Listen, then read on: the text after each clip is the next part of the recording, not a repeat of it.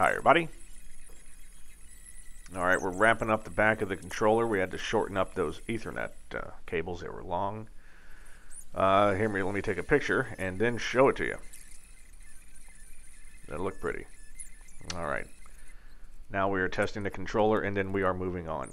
All right, before we move on, uh, let me welcome all the new subscribers. We now have over 1,500, which is trippy. If everyone sent me a dime, I could go to the movies by myself. All right, so we're moving on to the chapter of miscellaneous. So this is all of the sort of end pieces, right? Because it's we're we're nearing the end, folks, and it's time to actually make this bird look nice. So we're starting off with the center flap tunnel. Plus, look, let's be honest. Let's talk about you know leaving yourself something easy to do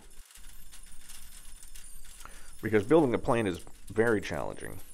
And you're going to buttress up against things that, you know, that uh, take out of your comfort zone. And sometimes what you need to do is bravely give up and retreat back to something that you know, that you know you can't screw up to kind of give yourself a little confidence booster. So if you're going to be doing this, file away a few, you know, things like this so that you can, things you, you don't have to have this done. I technically I don't even have to have this on to, to know if it even fits. I mean, I need to know if it fits, but you know when the when the guy uh, comes to inspect the plane, when the DAR comes to inspect, uh, that's going to be off. So I could wait until the very end until it's actually inspected to build it, if you wanted to. Just as an example. All right, so while you're watching me build that, let's go over some Q and A uh, talking, people have been talking about the uh, O2 sensors. Right. So, thing about O2 sensors is that lead suffocates the sensor. When people say it kills the sensor, all it really does is that it suffocates the sensor so that it basically can't read any O2 at all. Uh, that's just what lead does. Lead salts come shooting out real hot, especially at the beginning of the engine when it fires up. You're throwing a lot of extra fuel to try to get it to go, and so you get a lot of unburned fuel, a lot of lead. Now, you can try to mitigate it in several ways. The easiest, of course, is just to use unleaded fuel, which in California, if we're not careful, everyone might have to use. I mean, look, I'm all for it. For, let me back up. I'd love to have unleaded fuel. If we had unleaded at Oakland, uh, we would find a way that we'd have to use it. That is just so much better for everything the environment, your plane. Screw the environment. It's better for the engine. Environment's already screwed. I'm kidding. We're the ones that are screwed. Environment will be fine.